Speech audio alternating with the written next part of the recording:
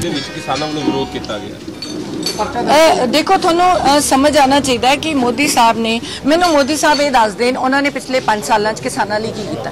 ਤੁਸੀਂ, ਮੇਰੇ ਇੱਕੋ ਹੀ ਕੁਐਸਚਨ ਹੈ, ਕਿਸਾਨ ਨੇ ਕਰਜ਼ਾ ਲਿੱਤਾ ਸਟੇਟ ਮਾਫ ਕਰੇ। ਕਿਸਾਨ ਨੇ ਕਰਜ਼ਾ ਲਿੱਤਾ ਬੈਂਕ ਮਾਫ ਕਿਉਂ ਨਾ ਕਰੇ? ਜੇ ਉਹਦੇ ਦੋਸਤਾਂ ਨੇ, ਅੰਬਾਨੀਆਂ, ਅਡਾਨੀਆਂ ਨੇ ਕਰਜ਼ੇ ਲਿੱਤੇ, ਨੀਰਵ ਮੋਦੀ ਨੇ ਕਰਜ਼ੇ ਲਿੱਤੇ ਕੇਸ ਕਿਹਨੇ ਲੜੇ? ਤੁਸੀਂ ਮੈਨੂੰ ਦੱਸੋ। ਸੁਸ਼ਮਾ ਸਵਰਾਜ ਦੀ ਬੇਟੀ ਨੇ, ਅਰੁਣ ਜੇਟਲੀ ਦੀ ਬੇਟੀ ਨੇ, ਇਹਨਾਂ ਨੇ ਕੇਸ ਲੜੇ ਨਾ? ਤੇ ਉਹਨਾਂ ਨੂੰ ਭਗੌੜਾ ਕੀਤਾ। ਬਾਹਰ ਭਜਾਇਆ ਪੈਸੇ ਦੇ ਕੇ ਤੇ ਇਹੀ ਪੈਸਾ ਜੇ ਉਹਨਾਂ ਨੂੰ ਬਚਾ ਲੈਂਦੇ ਬਾਹਰ ਭੱਜਣ ਤੋਂ ਜਾਂ ਬਾਹਰੋਂ ਜਿਹੜਾ ਮੋਦੀ ਜੀ ਕਹਿੰਦੇ ਸੀਗੇ ਕਿ ਕਾਲਾ ਧਨ ਲੈ ਕੇ ਆਉਂਗਾ, ਬੈਂਕਾਂ ਨੂੰ ਇਹ ਕਿਉਂ ਨਹੀਂ ਕਹਿੰਦੇ? ਉਹਨਾਂ ਲਈ ਤਾਂ ਕਹਿੰਦੇ ਕਾਰਪੋਰੇਟ ਲੋਨ ਮਾਫ ਕਰ ਦਿਓ। ਕਿਉਂ? ਬੈਂਕਾਂ ਕਿਸਾਨਾਂ ਦਾ ਕਿਉਂ ਨਹੀਂ ਮਾਫ ਕਰ ਦੋ ਵਿਚਾਰਾ ਗਰੀਬ ਜਿਹੜਾ ਮਰ ਰਿਹਾ ਹੈ ਕੀਤਾ ਕੀ ਹੈ? ਇਹ ਹਰਸਿਮਰਤ ਕੌਰ ਵੀ ਇੱਥੇ ਮਿਨਿਸਟਰ ਬਣੀ ਸੀ। ਮੈਨੂੰ ਦੱਸੋ, ਕਿਸਾਨ ਆਪਣੀ ਪੂਰੀ ਬੀਜਦਾ ਫਸਲ ਬੀਜਦਾ ਚਾਹੇ ਸਬਜ਼ੀ ਬੀਜਦਾ ਫਰੂਟ ਬੀਜਦਾ ਹੈ। ਵਿਚਾਰੇ ਨੂੰ ਧੋ ਕੇ ਆਪਣਾ ਸਮਾਨ ਮੰਡੀਆਂ 'ਚ ਸੁੱਟਣਾ ਪੈਂਦਾ ਮੀਂਹ ਪੈ ਜੇ, ਅੱਜ ਉਹਦੀ ਜਾਨ ਨਿਕਲ ਜਾਣੀ ਹੈ ਵੀ ਉਹਨੂੰ ਮੁੱਲ ਨਹੀਂ ਮਿਲਦਾ। ਜੇ ਅੱਜ ਅਸੀਂ ਕੋਲਡ ਪਾਰਕਸ ਜਾਂ ਡਰਾਈ ਪਾਰਕਸ ਖੋਲ ਦਿੰਦੇ, ਜਿੱਥੇ ਅਸੀਂ ਉਹਨੂੰ ਸਟੋਰ ਕਰ ਲਈਏ, ਤੇ ਜਦੋਂ ਬੰਦੇ ਨੂੰ ਸਟੋਰ ਰੱਖੀਏ, ਚਾਹੇ ਸਬਜ਼ੀਆਂ ਹੋਣ, ਚਾਹੇ ਫਰੂਟ ਹੋਣ, ਜਦੋਂ ਚੰਗੀ ਪ੍ਰਾਈਸ ਮਿਲੇ, ਉਦੋਂ ਮਾਰਕੀਟ 'ਚ ਵੇਚਦੇ ਇਹ ਸਾਡਾ ਫਰਜ਼ ਨਹੀਂ। ਇਹ ਹਰਸਿਮਰਤ ਨੂੰ ਕਰਨਾ ਨਹੀਂ ਚਾਹੀਦਾ ਸੀ, ਜਦੋਂ ਐਗਰੋ ਬੇਸਡ ਉਸ ਚਾਈ ਹੋਈ ਸੀ। ਇਹ ਇਹ ਤਰੀਕਾ ਕਿਸਾਨ ਨੂੰ ਬਚਾਉਣ ਦਾ, ਕਿਸਾਨ ਦਾ ਲੱਖਪਤੀ ਹੈ। ਜੋ ਇੰਨੀ ਪੜ੍ਹੇ ਲਿਖੇ ਜਾਂ ਸੂਝਵਾਨ ਹੋਵੇ ਤਾਂ ਆਪੇ ਸਮਝ ਆ ਜਾਂਦੀ ਹੈ। ਮੈਂ ਵੀ ਡਾਕਟਰੀ ਛੱਡ ਕੇ ਕਰ ਰਹੀ ਹਾਂ ਤਾਂ ਮੈਨੂੰ ਵੀ ਗਲੀਆਂ ਨਾਲੀਆਂ ਦੀ ਸਮਝ ਆ ਗਈ ਹੈ। ਮੈਡਮ ਹੁਣ ਜੇ ਨਵਜੋਤ ਸਿੰਘ ਸਿੱਧੂ ਨਹੀਂ ਆ ਰਹੇ ਉਹ ਫਿਰ ਕੌਣ ਪੰਜਾਬ ਦੀ ਜਨਤਾ ਨੂੰ ਕੌਣ ਸਮਝਾਏਗਾ ਨਵਜੋਤ ਸਿੰਘ ਸਿੱਧੂ ਦੀ ਭਾਸ਼ਾ ਜਿਹੜੀ ਸਾਰੀ ਪੰਜਾਬ ਦੀ ਜਨਤਾ ਸਮਝਦੀ ਹੈ। ਦੇਖੋ ਕੈਪਟਨ ਸਾਹਿਬ ਸਾਡੇ ਛੋਟੇ ਕੈਪਟਨ ਹੈ ਵੱਡਾ ਕੈਪਟਨ ਰਾਹੁਲ ਗਾਂਧੀ ਹੈ। ਜਦੋਂ ਸਾਡੇ ਛੋਟੇ ਕੈਪਟਨ ਨੇ ਕਹਿਤਾ ਵੀ ਮੈਂ 13 ਚੋਂ 13 ਸੀਟਾਂ ਜਿੱਤ ਰਿਹਾ ਤਾਂ ਹੋਰ ਉਹਨਾਂ ਨੂੰ ਜਿਤਾਉਣ ਦੀ ਲੋੜ ਕੀ ਹੈ ਤੁਸੀਂ ਮੈਨੂੰ ਸਮਝਾ ਦਿਓ। ਐਂਡ ਫਿਰ ਸਾਡੇ ਆਸ਼ਾ ਕੁਮਾਰੀ ਸਟਾਰ ਪ੍ਰਚਾਰਕ ਹੈ।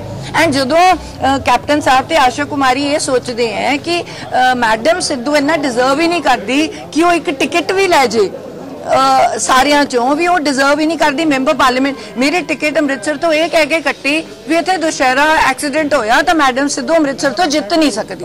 ਇਹ ਕੈਪਟਨ ਸਾਹਿਬ ਤੇ ਆਸ਼ਾ ਕੁਮਾਰੀ ਨੇ ਕਿਹਾ।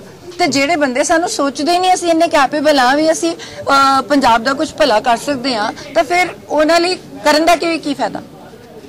ਹੁਣ ਫਿਰ ਮਤਲਬ ਕੌਣ ਕਰੇਗਾ ਪ੍ਰਚਾਰ ਫਿਰ? ਸਿੱਧੂ ਸਿੱਧੂ ਕੈਪਟਨ ਸਾਹਿਬ ਕਰਨਗੇ ਸਾਡੇ ਕੈਪਟਨ ਹੈ ਸਾਡੇ ਸੀਨੀਅਰ ਲੀਡਰ ਹੈ ਆਸ਼ਾ ਕੁਮਾਰੀ ਸਾਡੀ ਸਟਾਰ ਪ੍ਰਚਾਰਕ ਹੈ।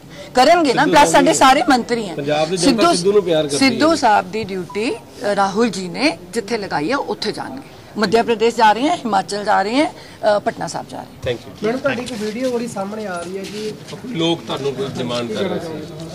ਦੇਖੋ ਨਾਰਮਲ ਜਦੋਂ ਤੁਸੀਂ ਰੈਲੀ 'ਚ ਜਾਂਦੇ ਹੋ, ਤਾਂ ਮੈਂ ਕਦੇ ਵੀ ਕਿਸੇ ਨੂੰ ਦੁਤਕਾਰਦੀ ਨਹੀਂ। ਪਰ ਪੋਸੀਬਲ ਨਹੀਂ ਹੁੰਦਾ ਕਿਸੇ ਦੀ ਪੈਨਸ਼ਨ ਨਹੀਂ ਲੱਗੀ ਕਾਉਂਸਲਰ ਤੋਂ ਕੋਈ ਦੁਖੀ ਹੈ ਕਿਸੇ ਦਾ ਆ ਅੰਗੂਠਾ ਦਾ ਨਿਸ਼ਾਨ ਨਹੀਂ ਆਇਆ ਉਹਦੇ ਤੇ। ਪਰ ਮੈਂ ਨਾ ਕਦੇ ਆਪਣੇ ਬੰਦਿਆਂ ਨੂੰ ਬੁਰੀ ਨਹੀਂ ਬੋਲ ਸਕਦੀ। ਇਸ ਲਈ ਉਹ ਕਹਿ ਰਹੇ ਸੀ, ਨਹੀਂ ਮੈਡਮ ਸੁਣੋ ਨਾ, ਮੇਰੀ ਆਦਤ ਨਹੀਂ ਹੈ। ਮੈਨੂੰ ਆਦਤ ਹੈ ਵਿੱਚ ਕੱਢ ਕੇ ਹਜੇ ਕਿ ਮੈਂ ਅਗਲੀ ਰੈਲੀ ਲਈ ਜਾਣਾ ਸੀ। ਬਟ ਉਹ ਮੇਰੀ ਆਪਣੀ ਟੀਮ ਮੈਂਬਰਸ ਹੈ ਉਹ ਮੇਰੇ ਕੋਲ ਆ ਵੀ ਗਈਆਂ।